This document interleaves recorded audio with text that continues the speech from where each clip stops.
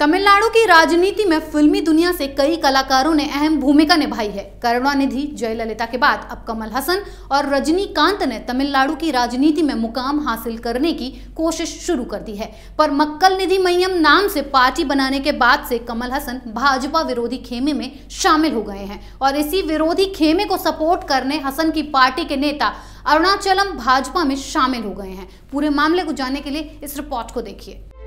कुछ दिन पहले ही मक्कल निधि मय्यम के प्रमुख और अभिनेता कमल हासन ने कन्याकुमारी के ठाकले में एक रोड शो किया था। तमिलनाडु में सुपरस्टार रजनीकांत और कमल हासन को लेकर चर्चाएँ गर्म हैं और तमिलनाडु में अभिनेताओं और फिल्मी दुनिया के लोगों का राजनीति में आने का चलन रहा है। जयललिता और करुणानिधि की मौत के बाद राज्य में खालीपन आ गया है, जिसे पूरा करने के लिए कमल हसन और रजनीकांत ने राजनीति की कमान संभालने की सोची है। ऐसे में क्या दोनों अभिनेता रजनीकांत और कमल हसन मिलकर चुनाव लड़ेंगे? इसे लेकर अटकलें भी जोरों पर हैं। इन्हीं चुनावी तैयारियों के बीच कमल हसन के लिए बुरी खबर आई है कि उनकी पार्टी के नेता ने चुनावों से पहले ही उनकी पार्टी से किनारा कर लिया है। तमिलनाडु की राजधानी चेन्नई में केंद्रीय मंत्री और भाजपा नेता प्रकाश जावड़ेकर की उपस्थिति में कमल हासन की पार्टी मक्कल निधि मय्यम के नेता ए. अरुणाचलम भाजपा में शामिल हो गए हैं। उन्हें जावड़ेकर ने पार्टी की सदस्यता दिलाई।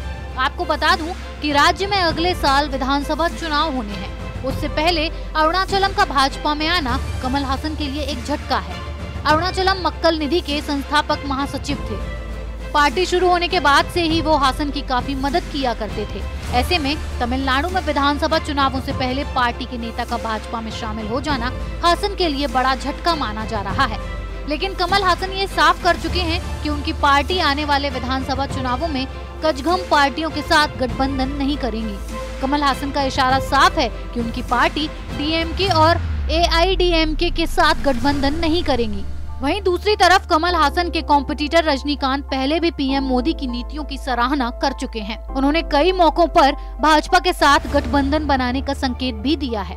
अगर भाजपा के साथ रजनीकांत की पार्टी का गठबंधन होता है तो कमल हसन के पास विरोधी खेमे में जाने के अलावा कोई दूसरा विकल्प नहीं होगा। अगर रजनीकांत को अन्ना द्रमुक और भाजपा का समर्थन मिलता है तो कमल हसन को कांग्रेस का समर्थन चाहिए। इसके लिए कमल हसन ज़मीन तैयार कर रहे हैं। पीएम मोदी के खिलाफ बोलने के बाद ही उन्हें विरोधी खेमों का समर्थन मिल पाएगा, पर उससे पहले ही उनकी पार्टी बिखरती नज़र आ रही है और उनके विरोधियों की पार्टी में शामिल होने के लिए अरुणाचलम ने कदम आगे बढ़ाना शुरू कर दिया है।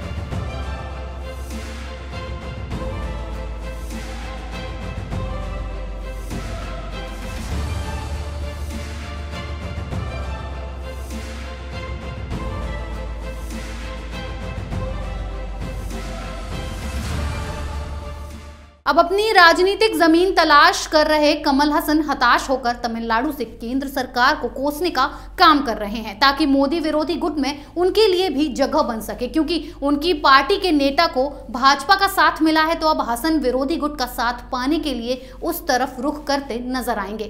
कैपिटल टीवी के साथ बने रहने के लिए आप सबका धन्यवाद। अगर आपको हमारा ये वीडियो पसंद आया हो तो उसे लाइक करें, शेयर करें और कैपिटल टीवी को सब्सक्राइब करना ना भूलें। अपने सुझाव हमें कॉमेंट बॉक्स में ज़रूर दें।